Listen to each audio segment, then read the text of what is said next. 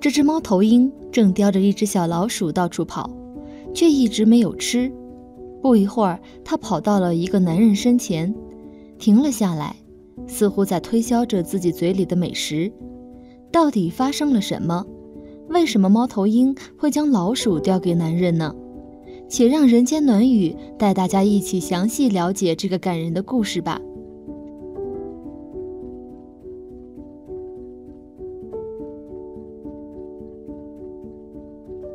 在我们的印象中，猫头鹰一直是一种昼伏夜出、行踪难辨的动物。不过，看完今天的视频之后，相信你对猫头鹰的智商与情感会有一个新的认识。它们既像猫咪那样记仇，也会报恩，还能像工作犬一样可训练、爱粘人呢。这个故事发生在南非东开普省格拉罕镇的一户人家。这户人家的男主人在当地经营着一个农场，并且与朋友们经常救助收留那些受伤的野生动物与猫狗。二零零六年，附近村民送来两只半大的雕鸮，它们属于南非当地的雕鸮亚种，体型较小。这是男主人第一次救助猫头鹰，也没什么经验，就把它们放在家中当猫狗一样饲养。最初几天，两个小家伙对男主人还不信任，一见面就炸开羽毛，嘴里还咔咔咔地发出威胁。谁知道混了几天后，这两只雕鸮比狗还粘人呢！不但霸占了男主人的卧室，每天居然还要靠着男主人的枕头睡觉，简直就像两只长了翅膀的小猫咪。到了晚上，男主人用唤狗的声音把两只雕鸮唤了过来喂食。先来的一只是男孩，叫锤子；姗姗来迟的那只是女孩，叫花花。两个小家伙很聪明，不过几天时间就听懂了男主人召唤他们吃东西的口令。每次男主人在农场见到他们，都能将他俩唤过来。一个月后，他们长大了，已经能独立生活。作为雌性猫头鹰，花花会飞往新的领地，而锤子就留在了男主人身边。后来，男主人又陆续救助了很多猫头鹰。按照猫头鹰传统，锤子已经把男主人家当成家族领地继承了。男主人也开始尝试着训练锤子，教锤子喂养、救助其他猫头鹰。刚开始，锤子还粗性大发。想到自己抓的食物要给别人吃，就一脸不高兴。但到后来，通过男主人的语言夸奖与亲吻脸颊等鼓励行为，锤子居然真的学会了替男主人去喂养其他救助对象了。锤子甚至还会教训不听男主人话的家伙，俨然以男主人的助手自居了。这只腿部受伤的猫头鹰就一直由锤子喂养照顾的。锤子捕食能力强，能把所有救助对象都喂得饱饱的，以至于他们吃的都撑不下了。有时候锤子还会喂错对象，吓得小鸟嘎嘎乱叫，似乎在说：“人家根本就不吃这个好吗？快点拿开啦！”除了给小猫头鹰们喂养食物，锤子还会将叼来的食物献给主人。它跳到主人的身上，把食物送到主人的嘴巴上。似乎在跟主人说：“主人，我给你抓来食物了，很好吃的，你快吃。”男主人无奈地看着猫头鹰，心说自己又不吃老鼠。猫头鹰这灵性可爱的一面，真是让人哭笑不得。在这段为小猫头鹰们捕食的日子里，锤子虽然很辛苦，但他似乎过得很充实、很快乐的样子，每天都兴致冲冲地去捕猎。每次将食物带给小猫头鹰们，带给主人的时候，它都会感到非常满足。看到这里，你是不是也在惊叹猫头鹰的超高智商与细腻情感呢？动物之间尚懂得感恩与互爱互助，那我们是不是更应该对家庭和社会多一份感恩，多一些温情呢？当然，我们也要善待小动物哦，这样它们也会同样对待我们。影片末尾需要感谢各位支持人间暖语，下期不见不散。除此之外，我们也想与你分享更多的感人影片。老人去世后，狗狗被送走，七天后，狗狗竟跨越了四十公里，返回原来与老人一起生活的家，每天守在门口不肯离去。这只令人惊叹的猫头鹰每天都会执行一个神秘的习惯，准时的前往九十八岁的祖母的小屋。在这里，他们会长时间的交谈，分享故事、秘密和充满默契的笑声。随着他们的联系日益深入，一种非凡的纽带在他们之间编织而成。但究竟是怎样让一只猫头鹰和一位老年妇女建立了如此亲近的关系呢？请继续听我讲述。在美国印第安纳州的一个宁静角落，有一间孤寂的房子，紧邻一片茂密的森林。这个充满回忆和爱意的房子是一位九十八岁祖母的家。从她的童年时代起，这位妇女就一直感到与自然有着深厚的联系。她在其中找到了不同于其他地方的平静与宁静。虽然她的孩子们多年前都搬走了，她的丈夫也已经去世，但她从未感到孤单。感谢持续的自然陪伴以及她坚韧的精神，她总能找到内心的宁静。尽管孩子们偶尔会拜访她。但大部分时间，她都独自度过，享受着家中的宁静和周围森林的美丽。这片森林绿意盎然而又宁静的，一直是她的避难所和圣地。自从她还是个小女孩的时候，他就是她的朋友。多年来，她学会了理解森林的节奏和秘密，欣赏它的美丽，尊重它的力量。附近村庄的人也在她的生活中扮演了重要角色。虽然他们中的大多数人比他年轻得多，但他们尊重并珍视他的智慧和坚韧。当他需要帮助时，他们总是愿意伸出援手，无论是家务活还是花园的维护。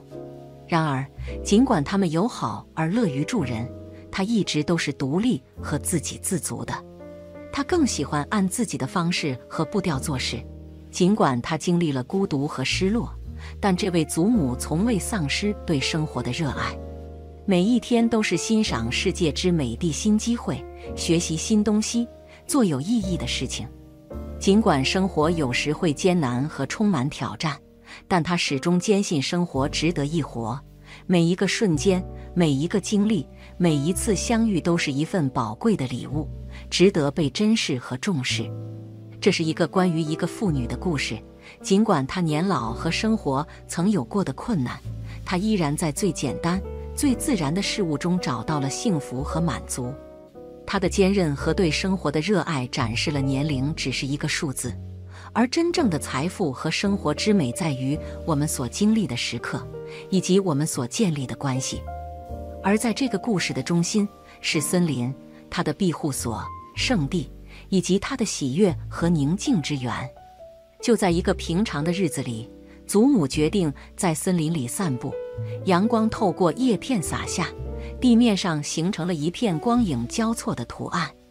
在他行走时，他注意到了一个不寻常的事物：一只受伤和脆弱的猫头鹰躺在地上。他低头检查了一下这只猫头鹰，尽管外表脆弱，但这只猫头鹰展示出了自然的侵略性，拍打着翅膀。发出咕咕声，试图保护自己。然而，祖母的耐心和善意最终让他平静了下来。小家伙，别害怕，他轻声地对他说，伸出手轻轻地抚摸着他的羽毛。我们会照顾你的。小小的猫头鹰在他的呵护下逐渐平静下来。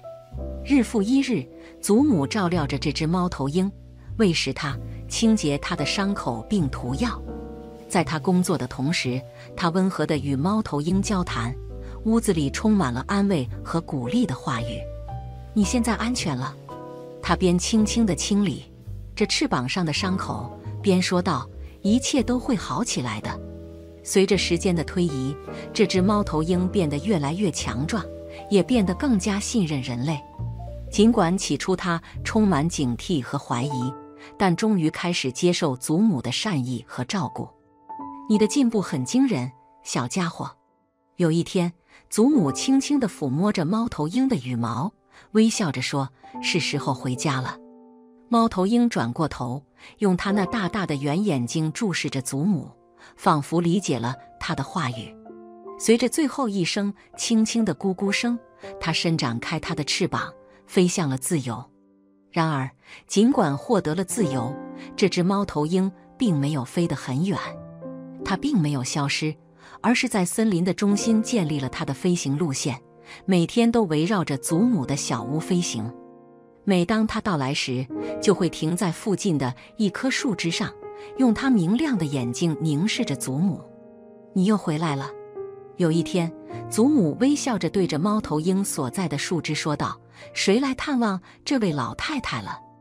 猫头鹰回应了一声轻轻的咕咕声，目光始终锁定在祖母身上，仿佛在说：“是的，我回来了，而且还会继续回来。”于是，每天的猫头鹰访问成了祖母生活中的一个亮点。每天早上，它都怀着期待的心情醒来。等待着熟悉的咕咕声，宣告着猫头鹰的到来。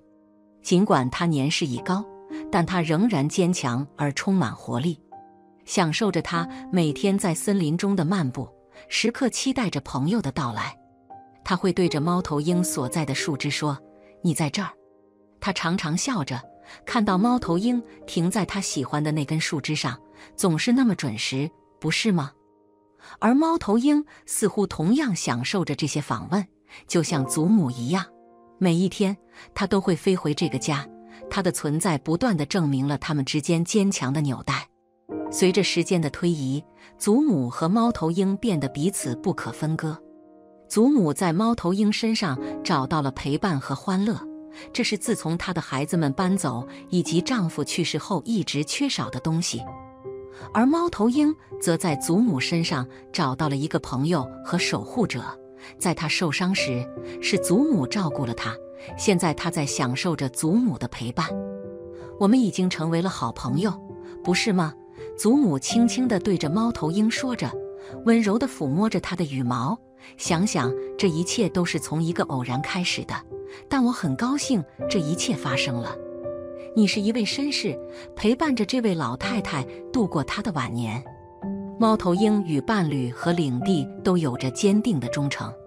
这些夜猫子与他们的伴侣建立长久的关系，分享御厨和保卫领地的责任。他们是一夫一妻制的，通常会与同一伴侣终老。而这只特别的猫头鹰在这位老太太身上找到了一位伴侣。祖母与猫头鹰之间的友谊持续了数年，这是一种坚不可摧的纽带，在森林的心中形成。然而，正如所有事物一样，这段友谊也在逐渐接近尾声。祖母在经历了充满爱和善意的一生后，最终闭上了双眼。虽然她的离世令人伤感，但她安详的离世，因为她知道她在晚年拥有了无与伦比的陪伴。尽管他已经离开，但猫头鹰依然每天都继续访问这个家，这是对祖母的一种致敬。它停在同样的树枝上，用明亮的眼睛凝视着这座房子。尽管祖母不再在世，但她的精神依然在猫头鹰身上存在。猫头鹰成为了他友谊的永恒象征，也是他们之间相互喜爱的见证。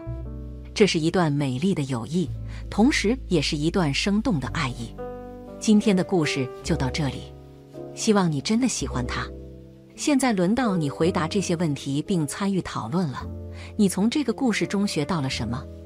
你喜欢这两个角色之间建立的友谊纽带吗？你想了解更多关于猫头鹰的信息吗？让我知道，这样我可以为你带来更多有关他们的故事。